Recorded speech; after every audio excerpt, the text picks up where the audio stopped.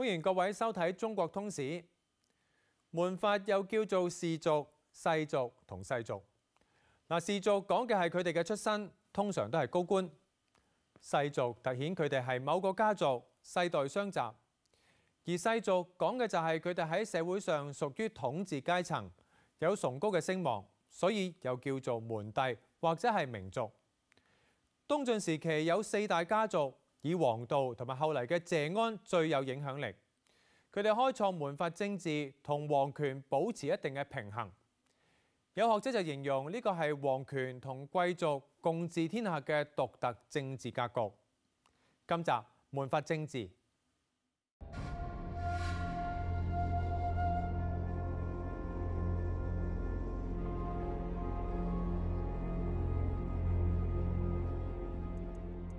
呢個係一次改變中國歷史嘅大遷徙，佢哋其中有平頭百姓，亦都有世家大族，甚至仲有皇室宗親。佢哋拖家带口，連同整個家族一齊遷徙。西晋末年，北方大亂，西晋政權搖搖欲墜。呢一啲嚟自北方嘅遷徙大軍，分別從河南洛陽、山東琅琊等地出發。佢哋心中向往住一个目的地江南。呢一次迁徙整整延续咗两百几年。喺呢次迁徙嘅队伍入边，有两个与众不同嘅人，一个系狼爷王司马睿，另外一个系北方世家大族嘅领袖王道。正系由于佢哋嘅到嚟，改变咗中国历史。佢哋共同建立嘅政权，開啟咗中國歷史上一個特殊嘅政治模式——東晉門閥政治。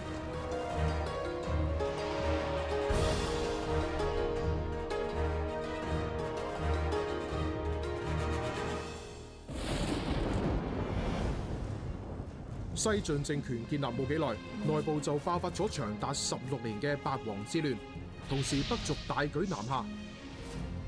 呢個令到西晋王朝嘅執政者東海王司馬越不得不考慮退路，營造狡兔三窟，開始着力經營江南。於是，亡國鄰近嘅琅琊王司馬睿成為咗最佳人選。佢被任命為安東將軍，同世家大族南下建業，為西晋王朝建立後方基地。遠離咗政治中心洛陽，司馬睿唔知道將來嘅路會點行。當然呢個時候佢發夢都估唔到自己第日會成為東晋嘅開國皇帝。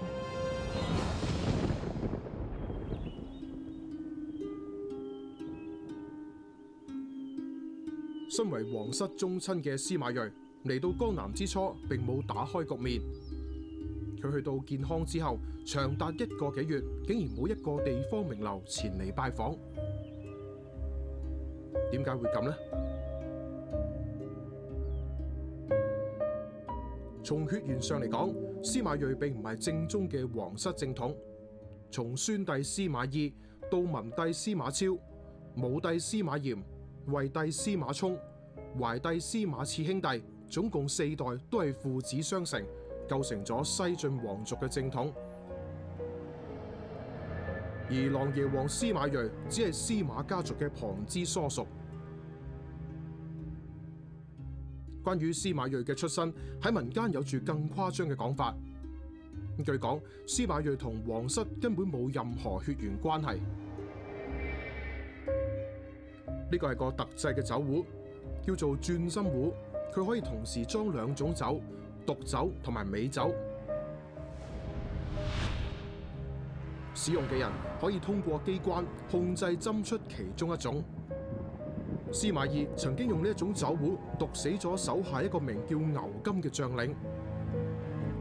司馬懿咁做係因為一本叫做《袁石圖》嘅書，書入边有一條牛繼馬後嘅讖語，意思係姓牛嘅人要繼承司馬氏嘅天下。司马睿不仅和西晋王室关系比较疏远，有史料记载，司马睿本人是他父亲的一个妃子夏侯氏跟一个姓刘的小吏私通生下来的，如果是这样的话，司马睿和司马氏家族基本上没有血缘关系。喺当时，呢、個故事隨住司馬睿嘅到來，已經傳遍健康城嘅大街小巷。顯然，南方嘅世家大族唔會睇得起一個因為偷情而出生嘅一個人物。呢、個亦都令到同佢一齊嚟嘅眾多北方世家大族受到牽連。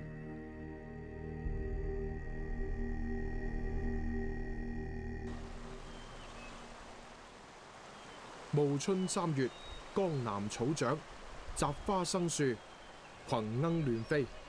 每當天氣晴朗，跟隨司馬睿嚟到江南嘅世家大族名士，就會相聚喺健康城外嘅新亭飲宴，嚟到消解心入边嘅苦悶。但係呢一次飲宴就與眾不同，睇嚟好似尋常嘅一次飲酒，就左右咗一個王朝嘅百年命運。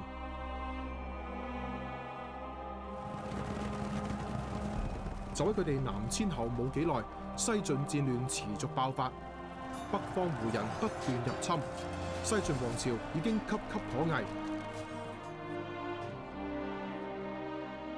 眾名士想到西晉淪落，不禁悲從中來。眼前江山遼闊，居然有萬里之勢，唯有青山似洛陽。有人仰天長嘆道：風景冇乜嘢唔同。却有山河之意，众名士闻听此言，都相视垂泪。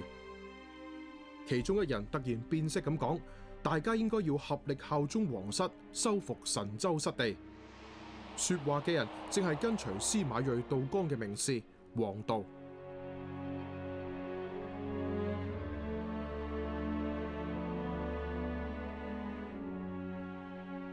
喺司馬睿手下任軍司馬嘅王道。跟住落嚟就要導演一出大戲。王道深知呢個時候急需要一個核心力量，團結各種嘅勢力，否則處境將會越嚟越危險。邊個能夠擔此重任呢？王道意識到佢哋必須要立起司馬皇室呢一支大旗，呢一個係南道世族立足嘅根基，因此。王氏家族選擇咗同自己關係密切嘅琅琊王司馬睿。司馬睿的父親司馬昭，司馬昭是接受孫吳孫皓投降的，因此在江南地方的吴人看呢，司馬睿是滅我國家的仇人的後代。而司馬睿後來歷史政治。不知道怎么設計的，司馬睿後來到了南方來了，那怎麼在江南立足？王道深知，如果得唔到南方士族嘅支持，司馬睿要喺江東立足係唔可能嘅。於是就同重慶王敦商議，幫助司馬睿喺江南建立威望。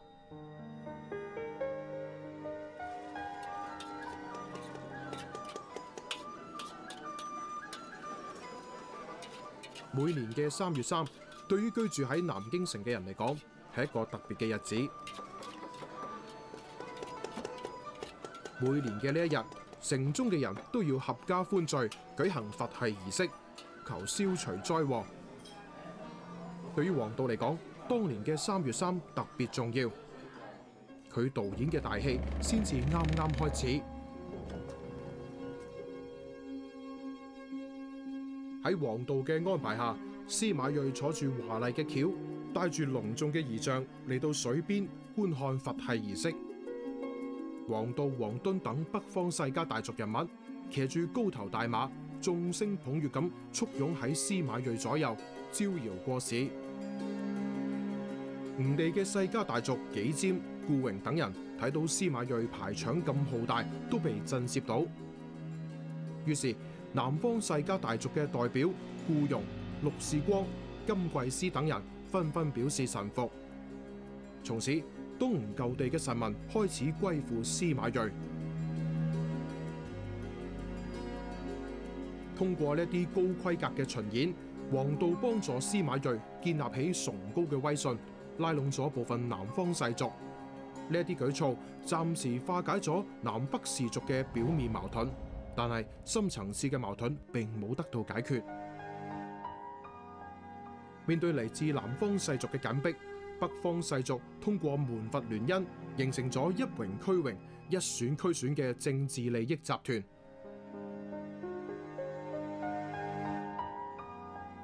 太尉賜鑑派門生到黃道家求女婿，黃道將屋企入边嘅子弟召集到去東廂房，俾對方盡管揀。門生翻去禀告，皇家子弟都好唔錯，聽講話我去揀女婿，個個都正襟危坐，矜持作態，只有一個年輕人瞓喺東床上面，旁若無人咁樣食嘢，好似冇聽到我要揀女婿一樣。太尉賜鑑話。呢個正係我嘅好女婿啊！尋訪一問，原來就係王羲之。呢個就係東床快婿嘅典故，说明当时贵族联姻之盛，以此形成咗巩固嘅利益联盟。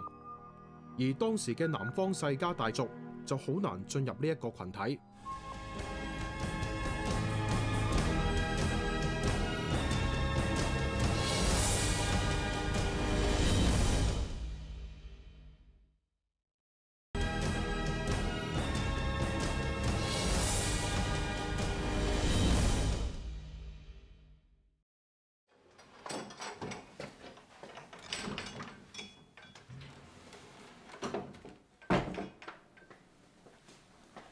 住喺南京嘅黃先生對中國家譜深有研究，而家對家譜嘅重視程度早已不如當年。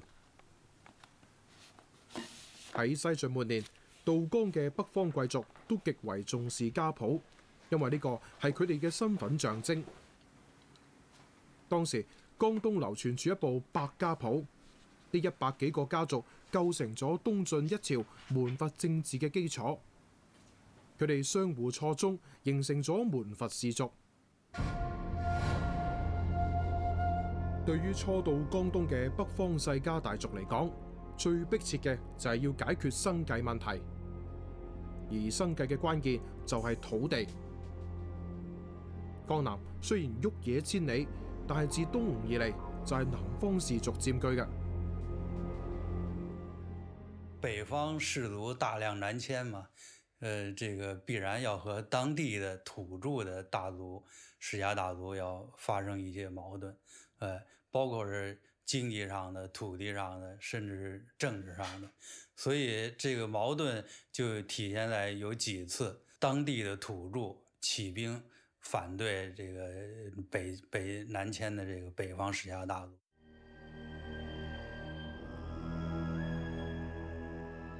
面對北方而嚟嘅高級難民喧賓奪主，一場大規模嘅武裝政變正喺度秘密進行。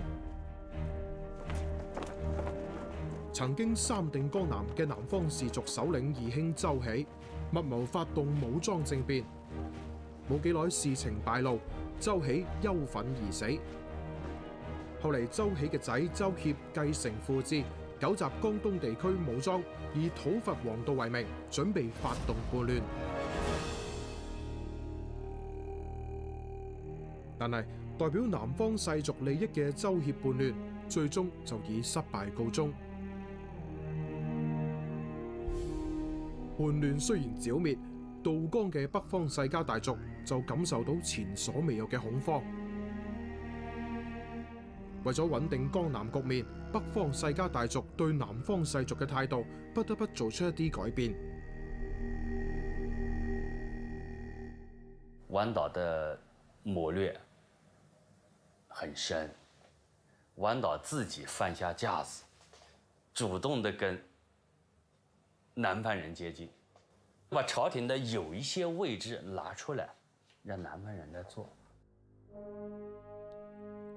為咗避免同本地氏族發生直接嘅經濟利益衝突，北方大族往往東過浙江求田問舍，喺会稽臨海一帶地域開墾荒地，發展產業。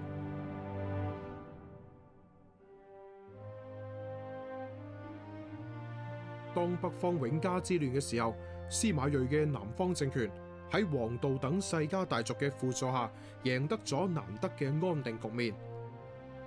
呢一種局面嘅形成，其中一個最重要嘅原因，就係黃道主持推行嘅僑州郡縣制度。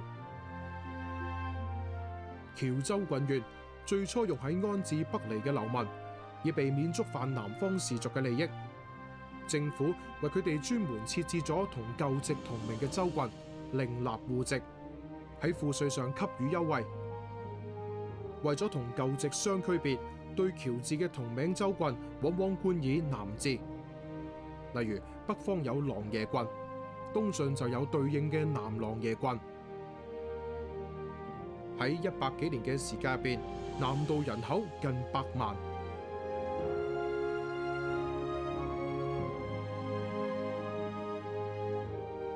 寧波地區係當時江南開化較早、文化程度較高嘅地區之一，因為土地肥沃、風景秀丽，吸引咗大批北方侨民。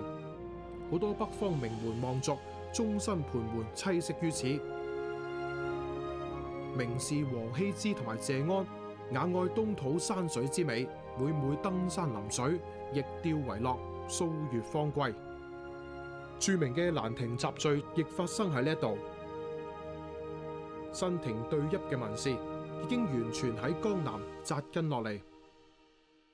在这种种的安抚之下，南方人觉得，就原来身无故地的人觉得，我或者接受北方其他民族的统治，我或者接受也是汉人，但是跟我原来有一些恩怨的人的统治，在民族矛盾和地域矛盾之间，我选哪个？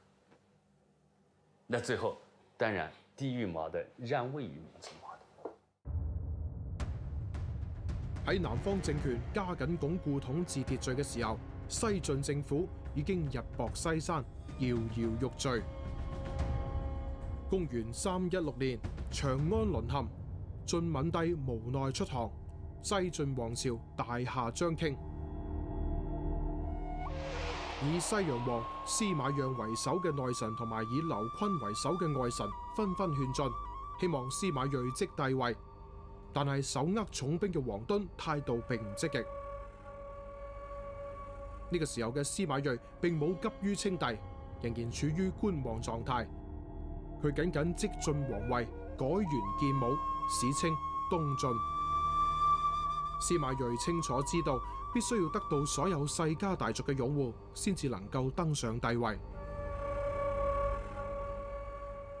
在这种情况下，那么以什么方式能把这些实力统一起来？以什么方式能保住南方的现有地盘，使得北方胡族不那么容易就直接踏入南方？那么最好的辦法就是使司馬司司马氏的統治延續下來。這個延續，也就是說，要各方勢力，你都在自己的利益上做出一番妥協。公元三一八年，晉敏帝司馬鄴死於漢國嘅訃告傳到健康，王道知道而家已經無家可歸。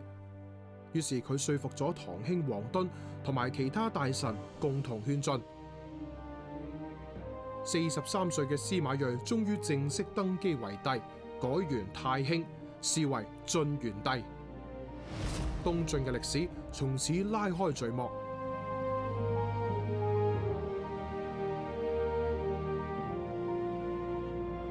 元帝喺政治上完全依靠黃道。軍事上就完全依靠黃敦，形成咗王與馬共天下嘅政治格局。门阀政治模式自此形成，门阀政治亦都成為咗中國歷史上一種特殊嘅政治模式。皇權勢力不是很強大，嗯，他需要以這個得到门阀士族的支持。这这是这是一个原因，另一个呢，就是门阀士族的力量，当时呃是得到很大的发展，呃呃，他这个得到发展，他就有力量去支持这个皇权的存在。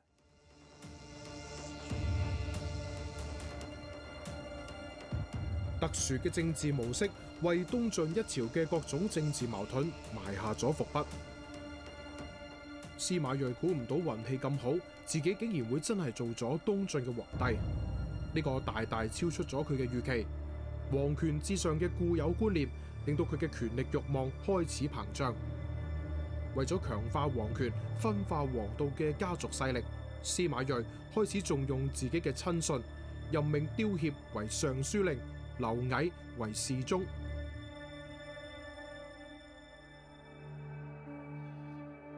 刁協係南道避亂士人，對於皇權同埋貴族共治天下嘅政治模式尤为不滿。劉毅喺西晉末期避亂渡江，勸元帝疏遠皇道，削奪黃敦嘅兵權。當時嘅健康發生咗件極為奇怪嘅事。負責督運糧草嘅督運令史淳于伯，因為督運糧草唔及時，被判處斬首。據說淳于伯被斬頭之後，鮮血沿住條柱向上流兩丈三尺，然後又往下流四尺五寸。一時之間，百姓喧哗，全部都話淳于伯係死得冤枉。劉毅上訴批評從事中郎周延發曹參軍劉胤，製造冤案。劉毅嘅呢一次上訴直指時任宰相王導。刘毅上诉后，王道立即上书引咎，请求俾自己罢官处分。东晋建立以后呢，晋元帝司马睿啊，基本上是个傀儡啊。呃，朝廷大权是在王导、王敦的兄弟俩手里控制的，啊，尤其是王敦，他在上游控制着这啊东晋呃最强大的一支军队。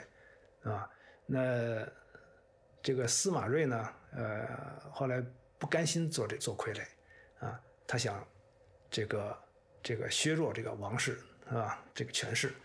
呃，那么为了对付王敦，他当时就利用这个这个刁協、劉偉這些人啊，他的心腹。司马睿抑制琅琊王氏嘅举措，触怒咗世家大族。公元三二二年。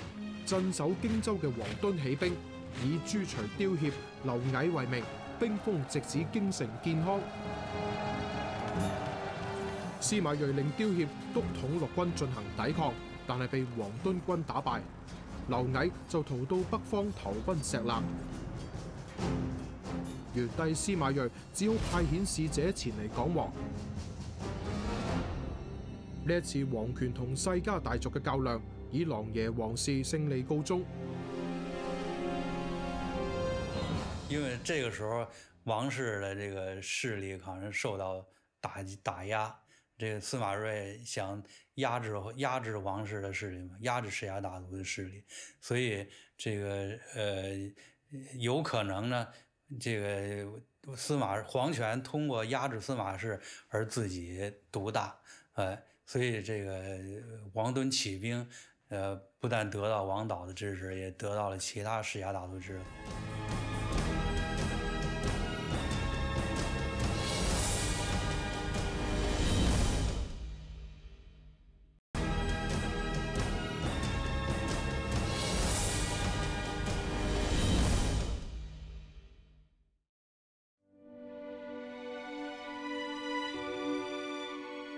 東晋王朝嘅矛盾總係一波未平，一波又起。隨住軍事實力嘅增強，名望嘅顯著，王敦嘅權力慾望亦都開始膨脹。元帝司馬睿死後，明帝司馬紹繼位，王敦更加放肆妄為，佢剑理上殿，入朝不趨，自以為有足夠嘅力量取代司馬氏。公元三二四年。明帝司馬紹泰寧二年，王敦再次密謀起兵，欲取代司馬紹做皇帝。呢個又係一次企圖打破皇權同世家大族力量均衡嘅行為。只不過挑起者係同司馬共天下嘅琅琊王氏，但係呢一次王道選擇咗企喺皇權一邊。一开始，王敦当然是一个比王导有野心的多的人物啊，他是一个雄心勃勃的人物啊。他在一开始起兵是打着清君侧的名义，那么实际上是对于这个司马氏打压他们王家势力的一种反抗，这样的一个名义啊，来来来来起兵的。但是呢，你说你真要推翻清了君侧以后，你那就不是清君侧了，那就是要清君了，对吧？那这个就会破坏原来司马氏家族跟整个过江氏族和江东氏族之间的联盟关系，对吧？因为司马氏家族在当时是有大义名分，的，对吧？你王家要取而代之，别的氏族同意吗？别的大江东氏族同意吗？其他過江氏族同意嗎？王导就是因為對此有清醒的判斷嘛，所以他反對王敦進一步去做。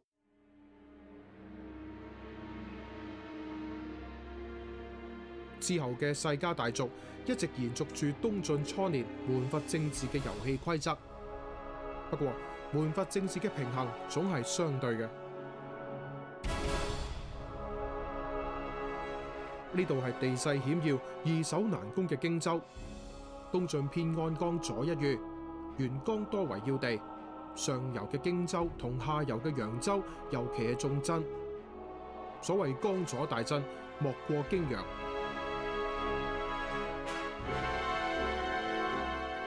東晋百年之中，司馬氏皇帝始終不振，內外大權都操喺世家大族嘅手入邊。王氏家族之後，政權分別為余氏家族同埋桓氏家族把持，所以荊揚二州始終以王、余、桓、謝四大家族控制。東晋權臣散位皆起兵於荆州。正係因為呢種特殊嘅地理形勢，晉穆帝永和年間，又一個世家大族人物桓溫，由於權力迅速膨脹，萌生咗打破皇權同世家大族實力均衡嘅企圖。晉穆帝永和元年，荆州刺史余奕病死，桓溫接替咗余奕嘅位置，出任荆州刺史。桓溫出任荆州刺史之後，立即展示出佢嘅軍事雄才。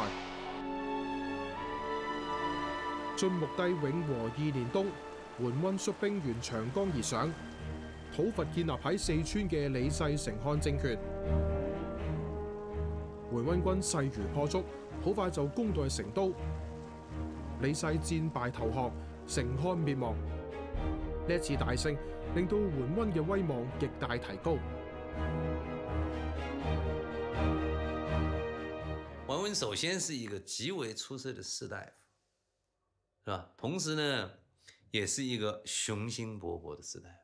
他想要改变这种现象。当然，到了东晋后期，这个加强皇权、建立一个比较有利的政权的这种条件也正在开始形成。啊，那桓温就是在这个过程当中出现了一个，他自己的家族根基不错。他自己才华过人，拉拢了一大群人，啊，慢慢的就掌握了越来越大的权力，身边也啊，你像最著名那个薛超啊，身边的谋士也很出色，对吧？那么这样一来以后，他居然可以通过这样一种策略，通过北伐，来不断的扩大自己的政治影响，来不断的集中各种政治资源。为咗夺取东晋帝位，桓温希望借助北伐嚟到进一步提高自己嘅人气。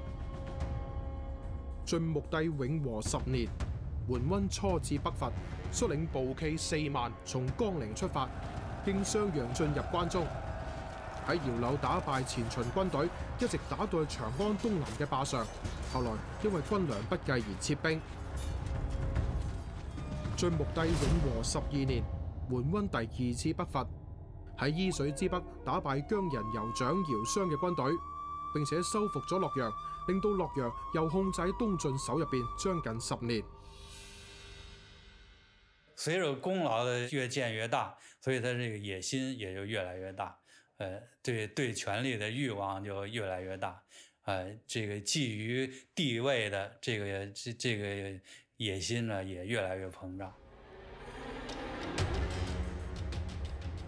為咗俾自己登上帝位增加最後嘅砝碼，桓温決定三次北伐，攻打前燕。但係呢一次嘅結果出乎佢嘅意料。废帝太和四年，桓温率領步騎五萬北伐，打到去離前燕都城鄴城只係有二百里嘅方頭。由於側翼配合嘅進軍遇到咗前燕軍嘅頑強抵抗，桓温軍成為咗孤軍深入嘅態勢。桓温只能夠下令撤退。喺商邑又遭到前燕軍隊嘅伏擊，一下子就損失三萬幾人。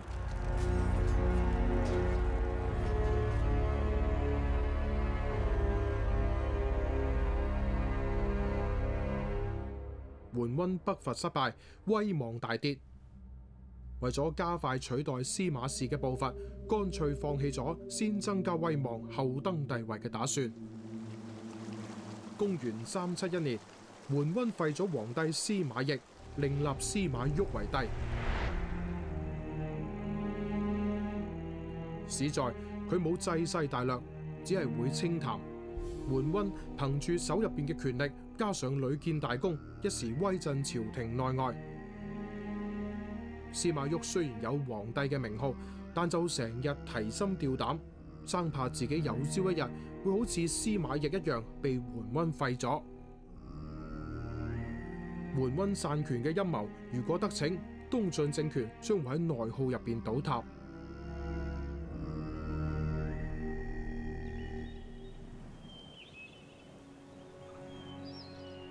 喺皇權岌岌可危嘅時候，另一個世家大族嘅代表企咗出嚟，佢就係謝安。謝安喺未出事之前，隱居於浙江會稽東山，四十歲後先至應桓温之請出任大將軍司馬。但隨住桓温取代司馬氏嘅意向越嚟越明顯，謝安逐漸同桓温成為政治對手。面對炙手可熱嘅桓温，謝安表現出高超嘅政治智慧同埋鬥爭藝術。謝安隨機應變嘅故事曾經廣為流傳。说有一次，这个桓温正在和他的参军，呃，西超正在密谋一些这个怎么篡位的，怎么这这个事情。哎，这时候忽然就听说，呃，那个谢安到了。这时候西超啊，就赶紧的就藏到這個帳幕后边去了。帳幕后边就想听听他们之间说是说什么。这时候谢安跟王坦之进来之后，就跟這個桓温就谈论谈论一些事情，国家大事。谈着谈着呢，忽然呼一阵风，把这个幕给吹开了，一下。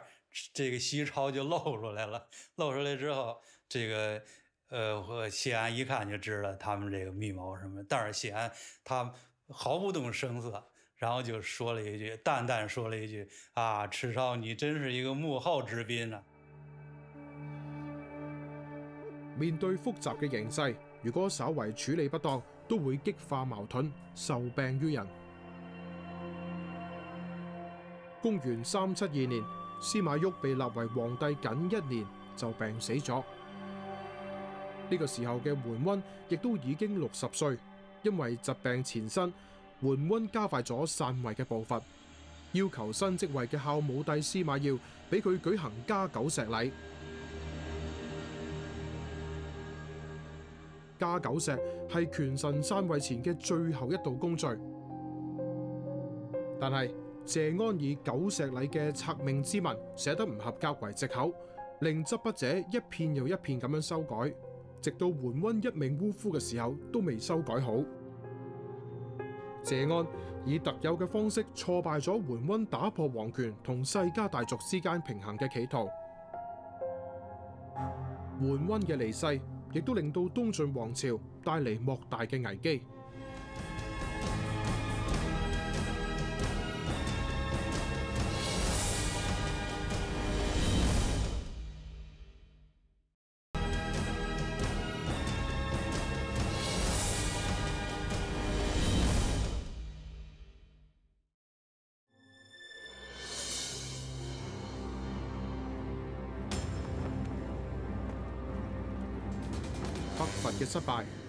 溫嘅病逝，令到東晉軍隊失去咗領軍人物，呢、個導致北方嘅威脅長驅直入。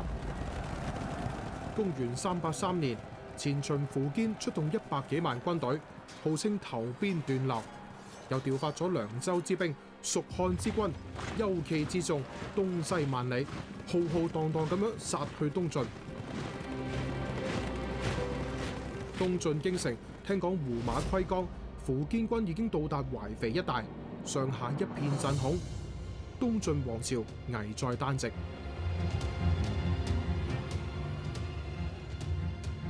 面對複雜緊張嘅局勢，門閥大族再次挺身而出，成為咗維護東晋政權穩固嘅核心力量。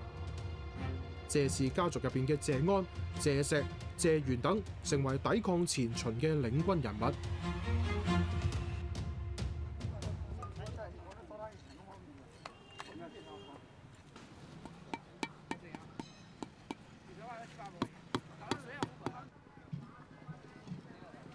呢度係安徽壽縣嘅古城，淝水之战就發生喺呢一度。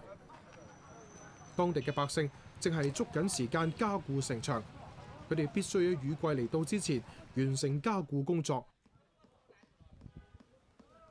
每年都會喺呢個季節加固呢一段城墙，而喺東晋嘅時期，當時嘅百姓亦喺度加固緊呢一段城墙。佢哋知道一場關乎東晋王朝生死存亡嘅戰爭，馬上就要爆發。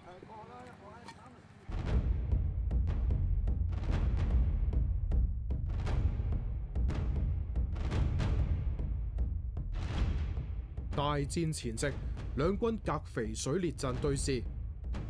謝玄任前線指揮，呢、個時候出任大都督嘅謝安就遠喺建康同人捉棋，運籌帷幄之中。谢玄派人勸前秦軍隊稍微向後退一下，等東晋軍過河決一勝負。苻堅想乘晋軍渡河嘅時候乘機殲滅，點知東晋嘅將領朱序趁機大叫：秦軍敗啦！秦軍敗啦！秦軍一退而不可收，頓時後退嘅秦軍就好似缺堤嘅洪水，晋軍趁機渡河追殺。苻坚被流矢射中，隻身逃回淮北。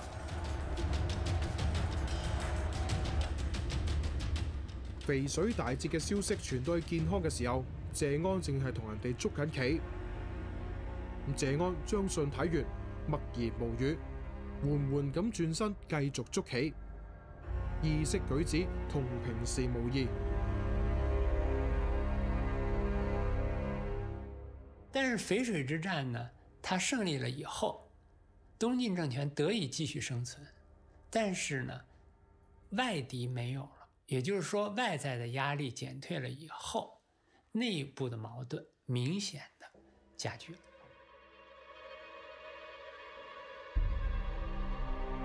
淝水之戰係貴族政治嘅最後挽歌，歌声再美，亦都唔足以挽救東晉政權嘅沒落。淝水之戰嘅勝利帶嚟咗新嘅問題，從此北方再次陷入混亂，北方勢力對南方嘅威脅大大減弱，外患一解除，內憂隨之而生。昔日嘅平衡牽制難以維繫，門閥政治赖以生存嘅土壤，亦都因為咁而不復存在。冇幾耐，謝安下野。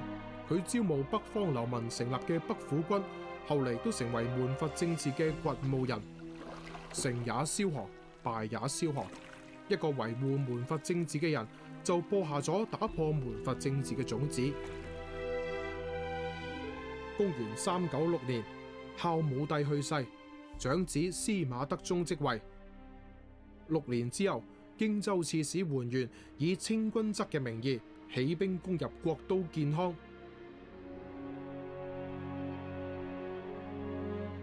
桓玄係桓温嘅庶子，喺打破皇权同世家大族势力平衡嘅呢点上，可以话系子承父业。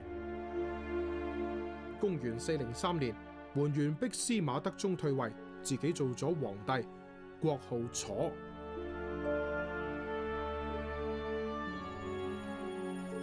公元四零四年，出身北府军嘅建武将军刘裕起兵反对桓玄，好快就攻入建康。大敗桓元，重新迎回司馬德宗登上帝位。不過，劉裕唔係世家大族，佢嘅行為亦都唔係為咗保持世家大族同皇權嘅勢力平衡，而係為咗取而代之，建立劉宋王朝。從此，韓族開始衝擊氏族統治，呢、這個標誌住東晋門閥政治嘅正式結束。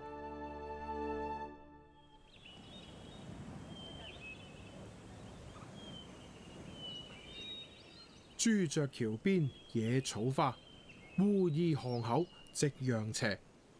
舊時王谢堂前燕，飛入尋常百姓家。呢度係南京嘅烏衣巷，現代人再揾唔到昔日嘅風流，只能夠喺文獻上尋觅王谢嘅舊時蹤跡。四大家族以王謝為首，前有王導，後有謝安，佢哋開創維繫嘅門閥政治，喺中原大亂嘅時候，保證咗東晉嘅百年偏安，促進咗江南長江流域嘅開發。為北方難民同埋南方人民贏得穩定嘅生存空間，皇權同貴族共治天下，係先秦貴族政治嘅回光返照。某種程度上限制咗專制皇權，實現咗權力制衡，從而激發咗魏晉士人自由嘅個性同思想，吹起魏晉風度池水嘅又一層波瀾。同時，由於高標郡望。門風優美，亦都促進咗文學同藝術嘅高度繁榮。東晉雖然並非中國史上政權強盛嘅時期，但作為文學藝術極興盛嘅時代，但係門閥貴族唔可能開辟出新嘅制度，只係能夠苟且偷安，維持現狀。隨住外界形勢嘅變化，門閥貴族嘅風流餘韻都會被風雨吹去。呢個堂前嘅燕子，終究要飛入尋常百姓家。門閥政治終於煙消雲散，開始回歸傳統皇權政治嘅常態。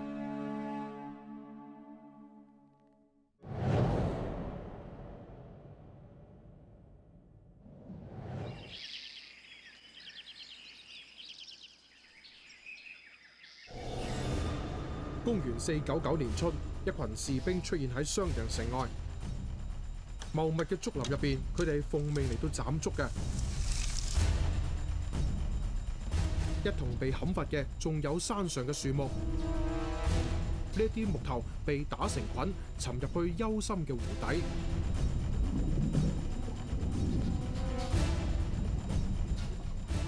只係得一個人知道呢啲木頭係我嚟做乜嘢嘅。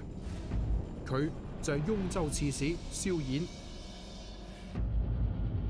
冇幾耐，南齊皇帝蕭寶卷聽信小人谗言，派人突襲雍州城，佛竹沉木嘅謎團終於被揭開。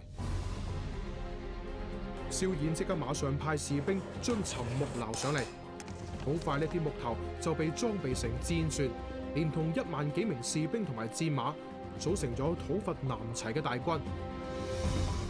喺萧衍嘅帶領下，好快就攻陷咗都城建康。